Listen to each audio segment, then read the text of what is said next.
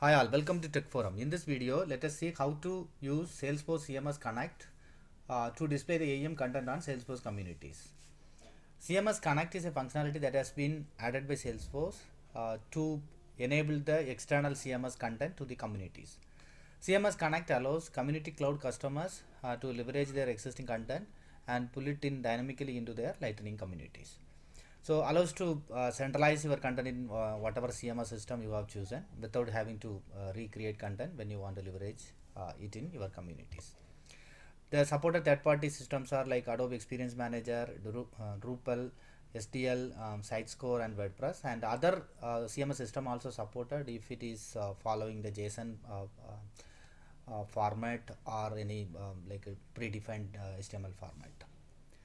Okay, um, CMS Connect uh, can pull content from, uh, as we already uh, seen, the Adobe Experience Manager, WordPress, Drupal, uh, Sitecore, SDL, and others that support content structured as um, uh, JSON or HTML fragments. So CMS Connect have two components. One is CMS Connect HTML, uh, then CMS Connect JSON. Um, CMS Connect HTML allows you to integrate fragments of your HTML, uh, piece of HTML content, uh, web content uh, that can be either headers, footers, banners, uh, any other content uh, to have the same branding experience of your website in your communities. So you can reuse the content, HTML content. Then CMS Connect JSON is the best for when you want to bring um, uh, in content list means uh, you want to uh, bring the content as a JSON. It can be blog data, article, product, catalog, anything. Um, so like even you can bring the authenticated content yeah so um, let's let's move on to the uh, demo how we can um, enable this integration between salesforce and uh, um, aem um, to use the content from aem uh, into uh, salesforce community. So as a first step we need to enable the um, communities for that. Like i logged into my developer account um, so now just in the quick find just type community okay? Now community settings. First select the community settings. So here if you, you are first time you will see a option called enable communities. So the community will not be enabled by default. So you need to enable that. Um, so now once you enable it will ask you to select a um, uh, domain. So i just selected my domain as uh, domain prefix uh, as tech forum. So now it will give you option to uh, check the availability. Uh, so if the domain is available or not so once it's available it's a it's a you can confirm and save it. So that this is going to be your uh, like a community uh, uh, community uh, url so obviously you can have your custom domain but anyway it's for demo. We are just going to use the same url okay now what we need to do is like now we need to create the demo the uh, sorry create the community. The community is already enabled. For that again you go into the same uh, quick find uh, type community. It will bring you to this one all communities so yeah i already have some uh, like a uh, sample so but you can create a new uh, community.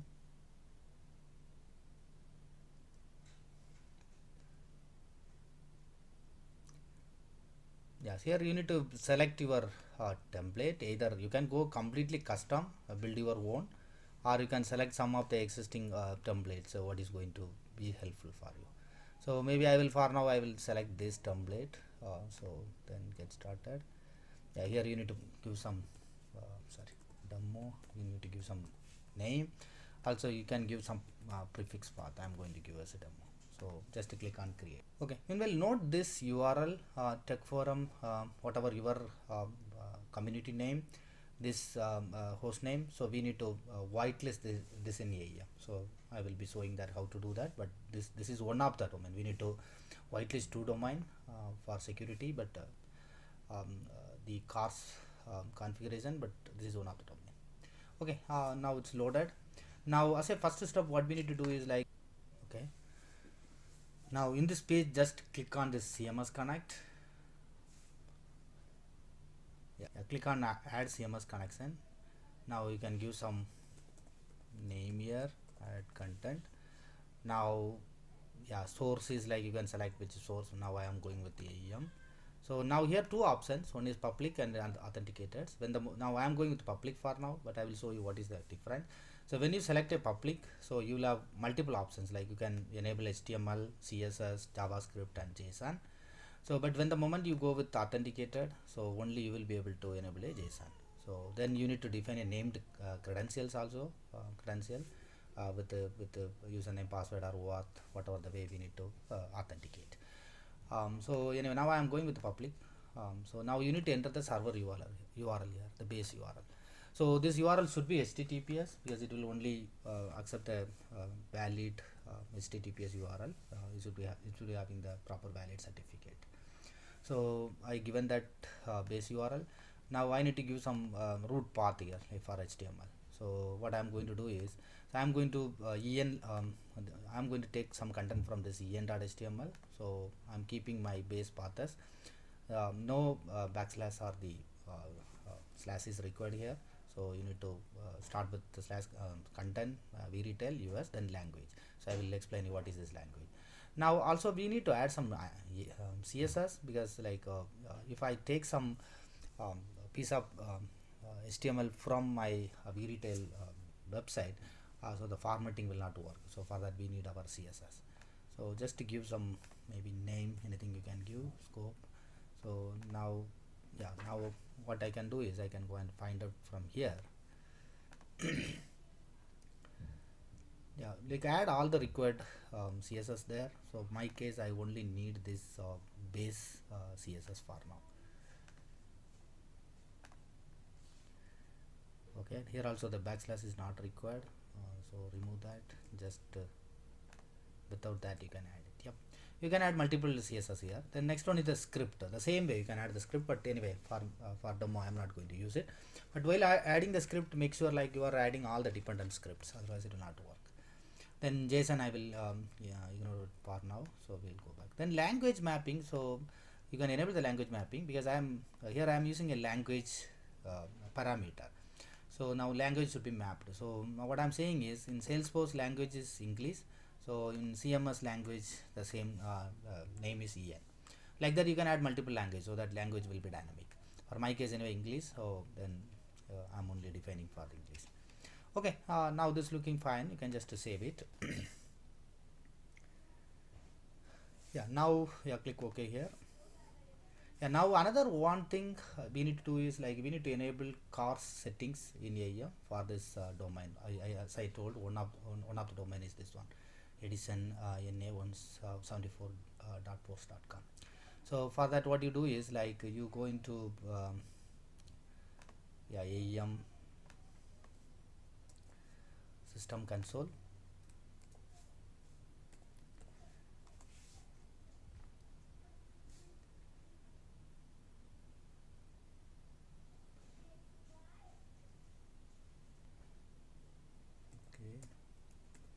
Yeah i already created a configuration factory configuration. You can add new if required but i already mm-hmm. added one so i will just show you.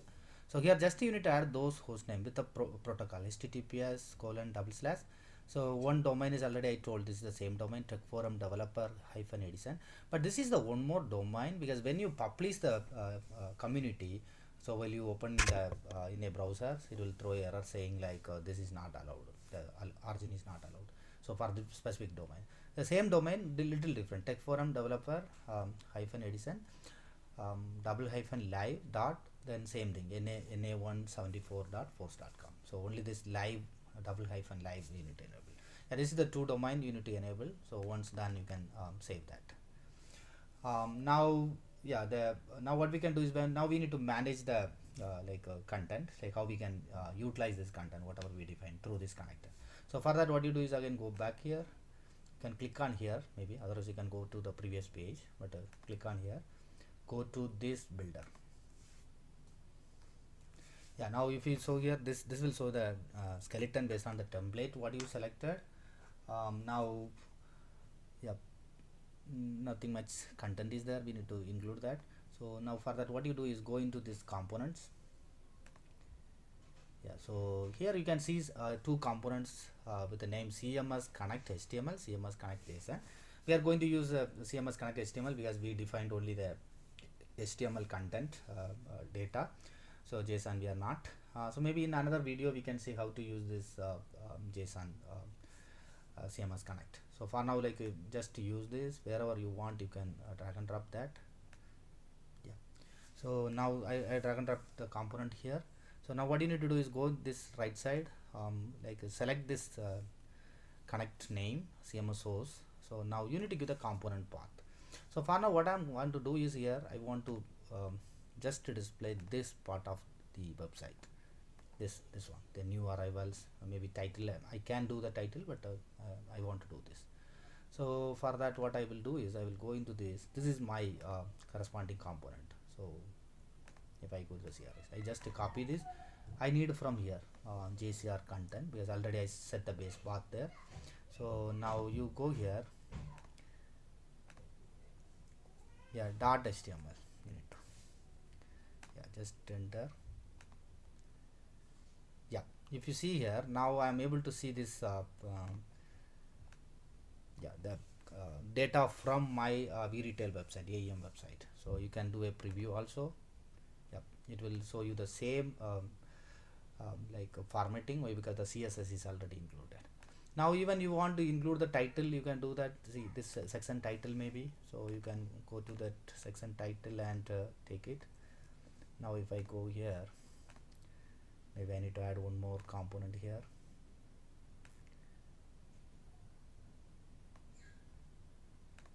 I hope this is added. Yep. Now if I go here you just go into this select and uh, you put this. Again this should be dot .html it took some time I think yeah now if you see the uh, new arrivals are arrivals coming then like that. Like that yeah whatever the html content you want to uh, display here you can you will be able to uh, display it.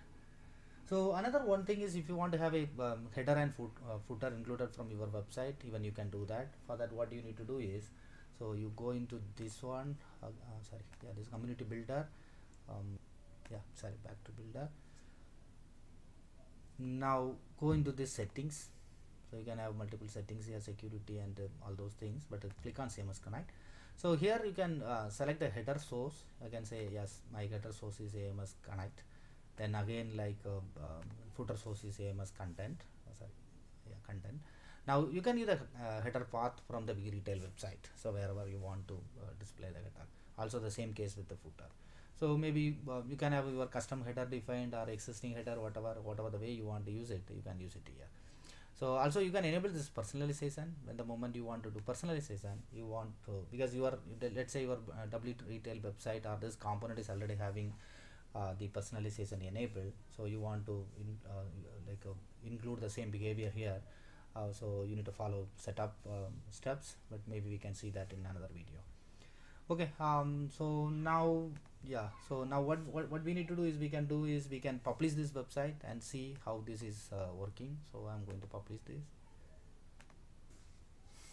Yeah it's done. So what i will do is yeah um, my url is going to be this but you will be getting an email uh, so with the url yeah so this one. So this was opening the same one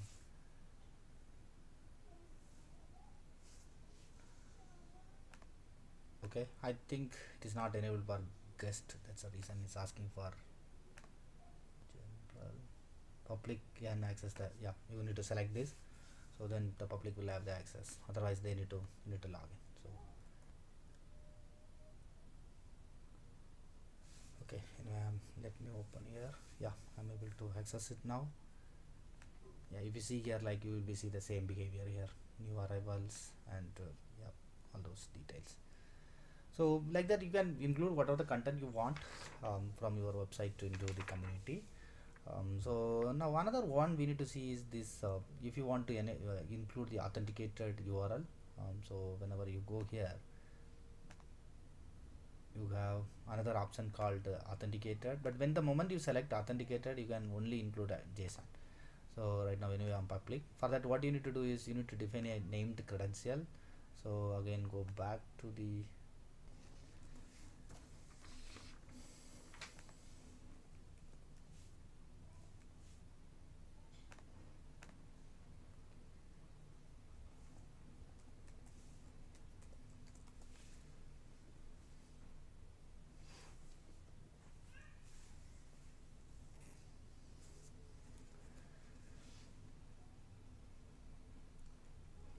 in the quick find you type named credential.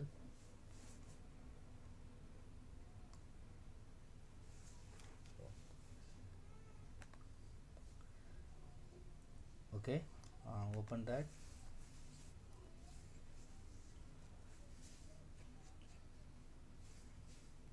Yeah now you can create a new credential. So let me I already have it. I'm editing that